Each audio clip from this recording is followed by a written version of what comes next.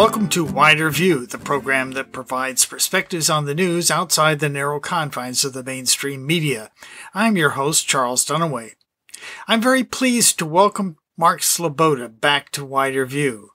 Mark is an international affairs and security analyst for RT, a former senior researcher at the sociological faculty of Moscow State University, and a former nuclear reactor operator for the United States Navy. Mark is currently based in Moscow. I began by asking Mark about the Intermediate Range Nuclear Forces Treaty signed by President Reagan and USSR General Secretary Gorbachev in the late 1980s that was recently suspended by both the United States and the Russian Federation each accusing the other of having broken it. Maybe you can tell us why this treaty was important and what happened here.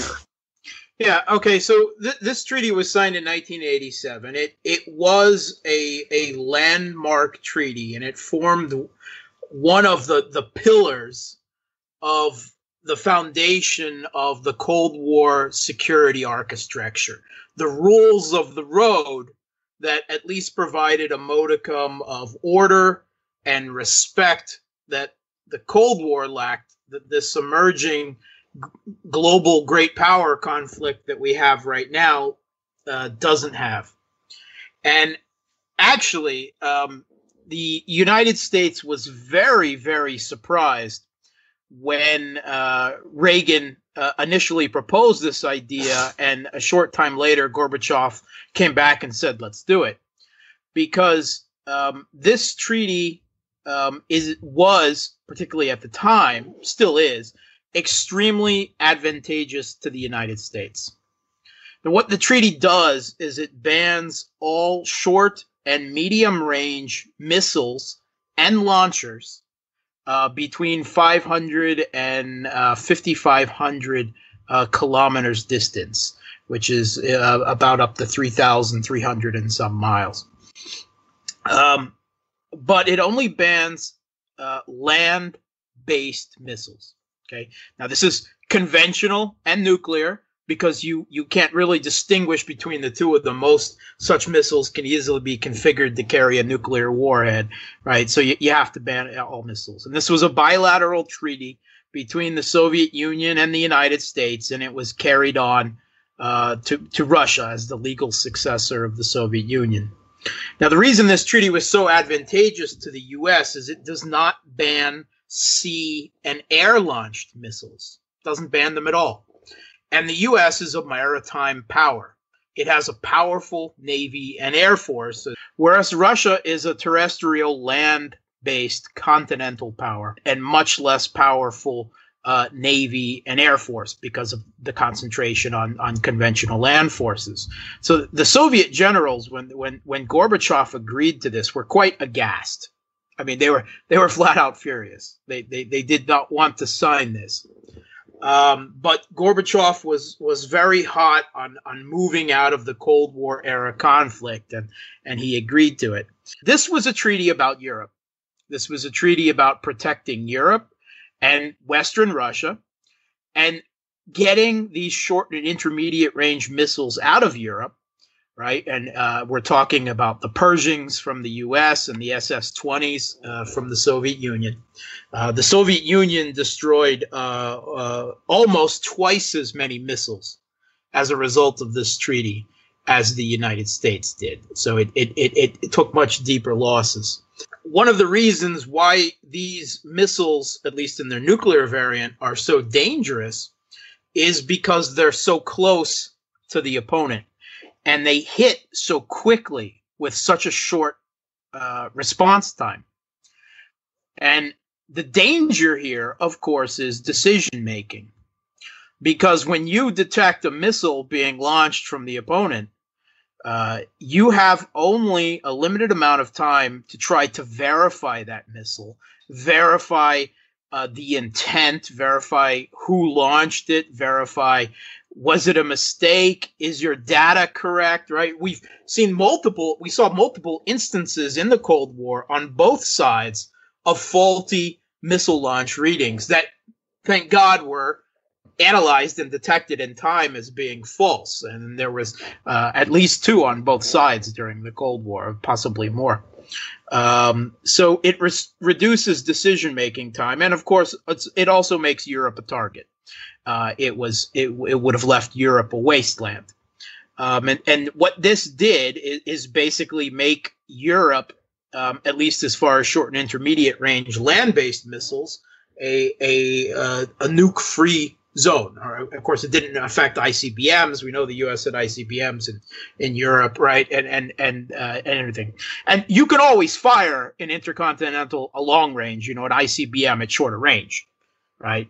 Yeah, there's nothing preventing you from firing it at a shorter range too, if you really wanted to. But of course, the U.S. and Russia were primarily focused on each other and the START treaty and the New START treaty limited the amount of warheads that you uh, missiles and warheads that you had. So you wanted to prioritize those uh, as you could. Um, so uh, along with the, the, START and then the New START treaty this these were this was the the pillar of cold war strategic security architecture.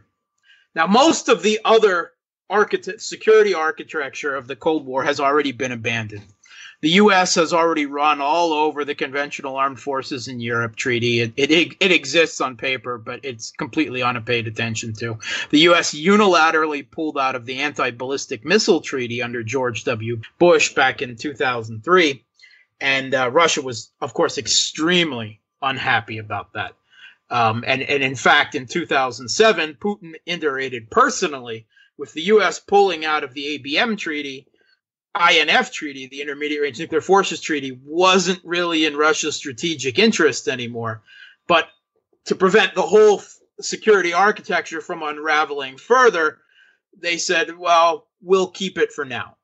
When the U.S. pulled out of the ABM tree unilaterally and started putting up missile defense in Eastern Europe, uh, and then THAAD in South Korea, and and uh, naval uh, components scattered around the world. The uh, also some in UK and interceptors in Alaska. Various pieces layered that you know are designed to build and build over time and and and integrate uh, and advance, of course, in capability.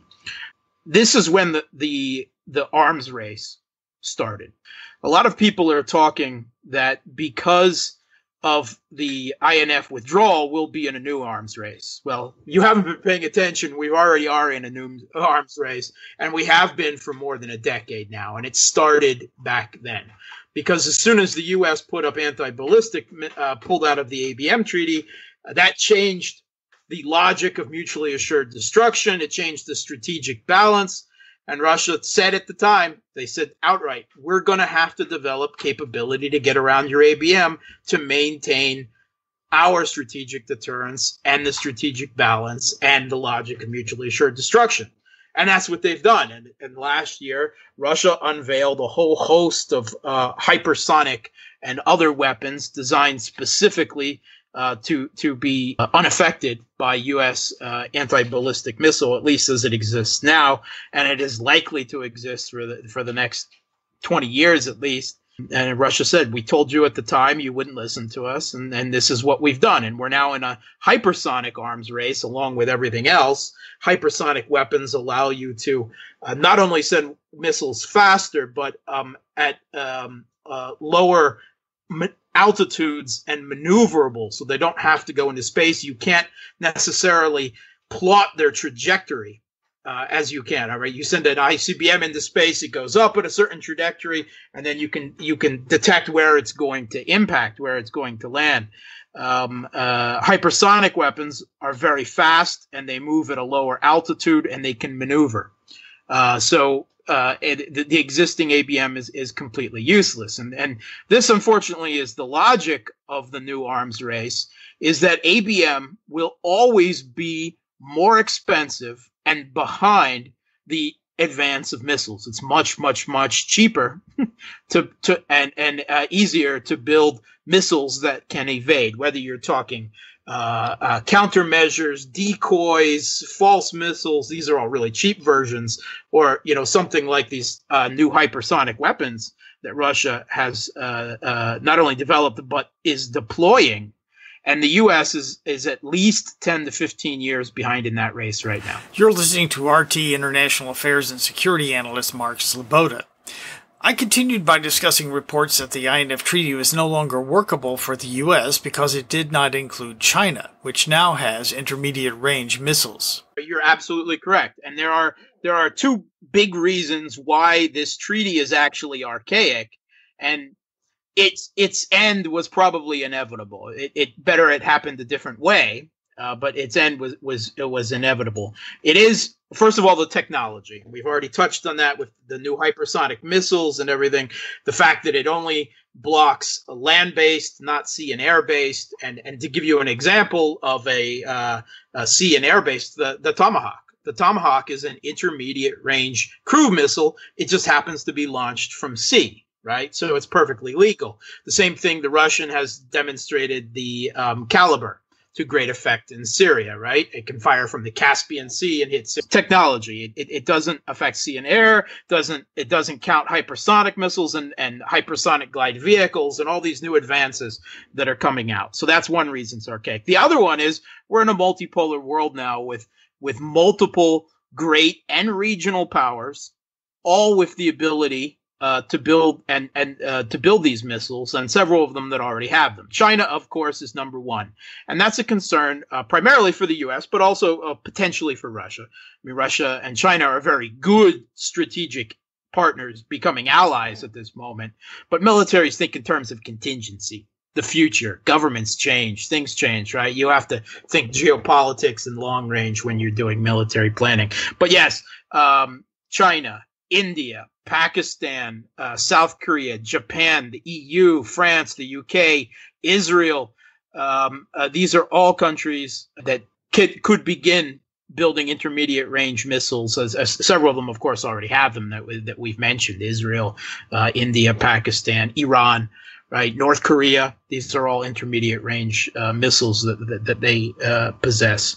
So um, it is in realist terms, a disadvantage to both the US and Russia to remain bound by this treaty while other countries aren't. And we're not in a bipolar Cold War uh, world anymore. That, that that paradigm geopolitically doesn't exist. That that's the other reason why this treaty is archaic. And John Bolton hates international treaties. He's he's got a he's got a hard on for anything that he views as constraining U.S. power uh, w- whether it's the UN, we know what he thinks of the UN from his time there, or he he's already gotten rid of at least four major treaties uh, uh, since he's been the national security advisor. Uh, the INF Treaty, the JCPOA. I'm glad you brought him up because I mean this is one of the things I find the most disturbing uh, about what's going on with our government because I mean Trump's campaign rhetoric would lead one to indicate that he was going to uh, end the regime change wars or at least some of them and that he wanted to improve relationships with Russia but yet he surrounded himself with the very people that George H.W. Bush referred to as the crazies in the basement uh, that he refused to allow to get upstairs and mess with policy uh, but these are the these are the people who are now, you know, right next to him in the Oval Office uh, making policy. That that's very disturbing, I think. I mean, we just had Elliott Abrams, you know, dug out of his undead grave and put in charge of of, of bringing a more quote democracy to Latin America, as if he hadn't already committed enough war crimes there uh, under the Reagan uh, Bush administrations uh, you know, Trump has has uh, gone completely, you know, uh, 180 on this in many ways. Uh, on other ways, uh, simply from a cost benefit analysis, he still seems intent on trying to get his military uh, to pull out of Syria and Afghanistan. Although they're already they're they're bucking at that, you know, several different ways um, and trying to push back against that. but yeah, I mean, you can you can take a look at where uh, the Trump admin wants to end regime change wars, and that would be Syria uh, and and well, you could you could include Afghanistan in that uh, possibly. Certainly, it's the longest military occupation, and the intelligence community, the deep state, the blob, they don't want to pull out of that. Trump, as well as Bolton and Pompeo and everyone else, they want war with Iran. Uh, the um, the deep state they're they're not quite sure they want war with Iran yet. They're they're they're pointing out that, that Iran is still part of the JCPOA. Maybe that is part of that is a defense of Obama's legacy and so on. But there they're not in agreement. Um, at, what the regime change they seem to both be able to agree on is is Venezuela, and, and that's obviously moving forward and and may very well move from the open hybrid warfare and economic warfare phase to the to the uh, into a potential military phase. So it's not that Trump doesn't want regime changes; it's that he's got a different priority of re- regime changes uh, from the deep state in some respects. The technical reason for pulling out of the INF treaty, the U.S. pulling out of the INF treaty, is they say that Russia has violated that treaty by the development of a, of a missile, a, a what they say is a land-based variant of the Kalibr uh, sea-launched intermediate range uh, cruise missile, and they say that its range exceeds 500 kilometers. Uh, Russia says uh, no, it doesn't exceed 500 kilometers, and um, and show evidence if you want to argue to the contrary. The U.S., of course, isn't going to reveal uh, sensitive information if it has it. Um, meanwhile, Russia has long maintained that the U.S. is violating the um, INF treaty. Um, several different ways. The most, most, probably the most important of which is the U.S. has put up these anti-ballistic missile launchers uh, in Romania and soon in Poland. Now, these are MK 41 launchers. They are an Aegis Ashore system, which is just a modification of the Aegis system that is on uh, many uh, U.S. warships. And, and being a Navy vet, I'm, I'm pretty well familiar with them. These launchers can fire uh, a variety of things, but including Tomahawk cruise missiles, which is actually one of their main uses at sea. The Aegis Ashore that's put in uh, Romania and soon in Poland is supposed to be to launch anti ballistic missile missiles, missiles that can shoot down ICBMs and you know and other things. But there is very little reason to believe that they couldn't also be easily reconfigured to shoot cruise missiles, intermediate range, you know, whether, whether with a conventional warhead or a nuclear warhead as well. So not only do you get an ABM launcher, which, you know, of course, was a violation of the ABM treaty before the U.S. pulled out of it. But Russia argues that the U.S. has stealth erected launchers uh, in uh, Eastern Europe as well, something that has dual capability. The argument that the U.S. has put back, oh, that's ridiculous. We're in complete compliance because we don't have any missiles there and it requires different software. I, I think you can probably understand why Russia doesn't accept that argument because missiles could be delivered to Europe fairly quickly, you know, if the U.S. felt it was necessary in escalating situation and software, right? Okay, like Russia is probably not too upset with the U.S. pulling out of this treaty. It has already indicated before that it's not really in Russia's strategic interest since the U.S. pulled out of the ABM treaty. I think that it's true that both countries are probably in minor violation of the treaty. That, that's my reading of it. That both countries are, but that neither one presents a, either an existential threat to to each other or to Europe, and that the real reason for the U.S. pulling out of this treaty is China. And Bolton and Trump both gave very strong indications of that when they spoke about withdrawing from the INF treaty, they repeatedly mentioned China. That's their focus. And the reason for that is the US, the, the generals, the brass, the, the strategic thinkers, they are in the US, they are convinced that the US is going to be fighting a major naval conflict with China on the other side of the Pacific in the South China Sea within the next 20 years. Um, they, they see that as inevitable to con- necessary to contain China's uh, you know dominance and, and growth in the region. The U.S. of course has sea and air launched uh, you know missiles there, um, but it would like land-based ones as well. And the reason for that is, of course, they're easier to install. You have a limited number of air uh, and sea launched, right? Depending on how many subs or surface ships, what's firing them uh, and, and aircraft, etc. Land based are simply a lot more reliable. And there's a little bit of military separation here. You know, the Navy and the Air Force are getting money for these missiles. The Army would like a piece of that pie too. They want to install missiles in Guam and Japan and probably South Korea, more more thinking of North Korea up there. The reason for that, of course, is that China has a, a large arsenal of short and intermediate range conventional missiles that uh, can target uh, the U.S. Navy in any potential conflict in the, the Taiwan Straits or the South China Sea. And that's what the U.S. is really worried about. They're worried about carrier killer missiles and how China increasingly it seems to be getting the edge on the U.S. in that future potential naval conflict, and they want missiles there. Russia also is thinking of Japan. They're thinking of the United Kingdom. They're thinking of other, uh, you know, those are the major threats that they see right now. They both say that they have now suspended the treaty. The U.S. first, then Russia reciprocated.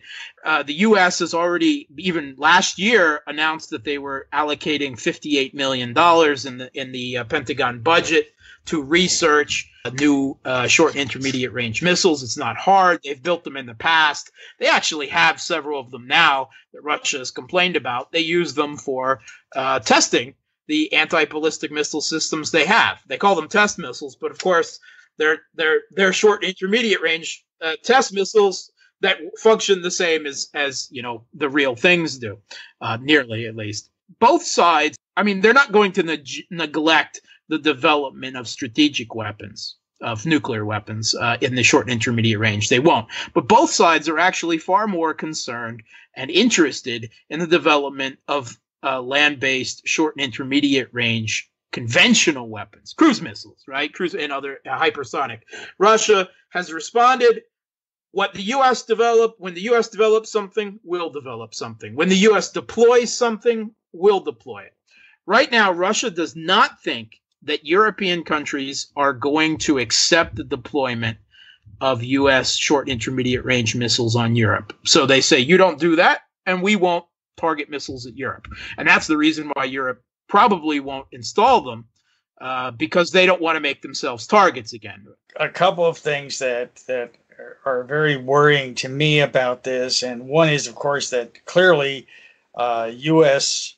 policymakers are seriously considering uh, the possibility of a nuclear first strike and the and the theory that it is possible to win a nuclear war. The other thing is that even prior to the advent of Trump, Bolton, and Pompeo, it was very clear to the Russians. I mean, it, back in 2016, that the United States government was not agreement capable, as they put it. That it wasn't possible to arrive at an agreement, and that was when we had Kerry and Obama, who were relatively sane. Um, you know, there doesn't seem to be a way to climb back down. There doesn't seem to be a mechanism to climb down. Uh, you know, uh, uh, we, have seen the U.S. pull out of the anti-ballistic missile treaty. We've seen the, uh, Trump pull out of the Joint Comprehensive Plan of Action. They're pulling out of the INF unilaterally. You know, even saying that Russia that Russia has made a violation. Russia says they've made a violation. Russia actually offered mutual inspections on both sides as a as a way of of keeping the treaty, and the U.S. turned them down because there can be no equivalency, as as they say. You know, we're not violating it, you are, so we we, we can't even accept talk. Uh, during his State of the Union, uh, Trump did raise the possibility, however um, incredulous this might be, of a new treaty that might include China and others. And this would be the ideal situation a new treaty that would not only include China, but all of the other major powers. It would probably have to be done in the UN and it would have to include every country. And it might address, you know, theoretically, sea and air launch missiles uh, intermediate range missiles as well. It might it, it might address hypersonic weapons. It might address uh, underwater uh, uh drones. It might address uh, hypersonic glide vehicles. It could address cyber warfare. All these things that every great power is now developing that will really, really change the face of future war and are super, super deadly. Uh, that's why this architecture is falling apart. And a new treaty will have to be, should be developed eventually. But of course, uh, no one actually believes that the U.S. is serious when they when Trump mentioned this, and certainly trying to convince China to join this, uh, much less other countries, is probably going to be impossible until everyone is shocked by the actual outbreak and the use of these weapons somewhere. You know, whether it's the conventional or the nuclear variant. What Russia is actually far more concerned about is the effect that this will have on the New START treaty, which is due to expire in two years. And that limits the amount of missiles and warheads uh, that, that both Russia and the United States has. That will be the, the, the end of the final last pillar of the Cold War security architecture. R- Russia definitely doesn't want that treaty gone, uh, but it will it will mean uh, a whole new level, a whole new escalation of arms race and a whole new geopolitical ballgame. And all the more important that we start looking at new treaties that that do include other countries, however much the, the political will may not be there at the moment. But that's really, really what's needed. New new countries involved, addressing all kinds of new weapons and technologies. It doesn't look like any country is is really moving in that way so far. Not not U.S., not Russia. Seriously, I think both sides have violated in small ways um, that aren't any type of real threat to each other, and uh, it could have been maintained. Resolutions could have been found. The U.S. doesn't want to. Russia says if you're not interested, we're not even going to bother to try and uh, you know it, it, it's it's most likely gone in six months. Um, you know, it's it's got six from the suspension till the actual withdrawal, six months. But it, it it's it's clearly indication that uh, it's probably gone, and there's no even push at the moment uh, for something new to to replace it. So um, it, it it's like I said, it's not as much of a game changer as, as some people may think it is. Uh, concentration is probably uh, at least at first is going to be more on conventional uh, inter- short intermediate range missiles, land based ones for both Russia and um, and the United States. But you know. Uh, they won't neglect the strategic aspect either. And that, you know, of course, that's what everyone is scared about. Well, I think we have a lot of reason to be. I think we're going to have to call it there. Uh, it's good, really good talking with you again. Thanks for having me. It's always yeah. an honor and a pleasure. All right, great. Take care, Mark. Take care, Charles. You've been listening to International Affairs and Security Analyst Mark Sleboda speaking from Moscow via Skype. Mark is a regular guest on the excellent Crosstalk panel discussion show on RT television. You can find the program on YouTube if you don't get RT on your local cable service. That is our show for this week. Widerview is available as a podcast at widerviewradio.podbean.com and also on iTunes and Google Play. Just search for Widerview Radio. If you have comments or questions about what you've heard, email me at widerviewradio at gmail.com or comment on our Facebook page at Widerview Radio. I'm your host, Charles Dunaway. Thanks for listening.